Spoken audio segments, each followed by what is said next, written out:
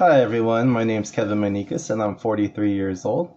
I live in a small town in California called Lodi, which is approximately 35 miles south of our state capital, Sacramento.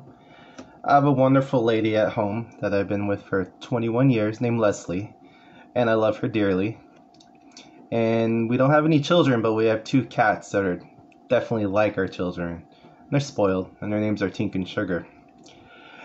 I started going to Eastern Gateway Community College in January of 2020, shortly after I discovered our union was offering a free college program. After high school, I didn't really have a chance to go to college because of financial and personal reasons, so this was an opportunity I couldn't pass up. I've been working as a paraeducator for Lodi Unified School District for 23 years. It's my passion. I love what I do.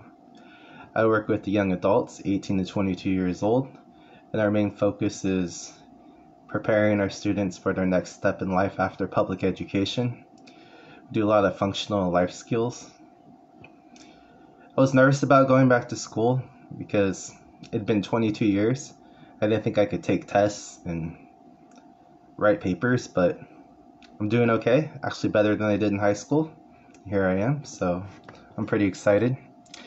I'm taking public speaking class because it's a requirement for my teacher education program, and also because I feel like I need to improve my speaking in general. I get real nervous when I'm speaking up in front of people, and I'm really looking forward to figuring out ways to overcome my nervousness and anxiety. My mind likes to usually go blank, so hopefully I can learn some techniques on how to improve that also am excited about outlining presentations because I don't really know where to go from point A to point B.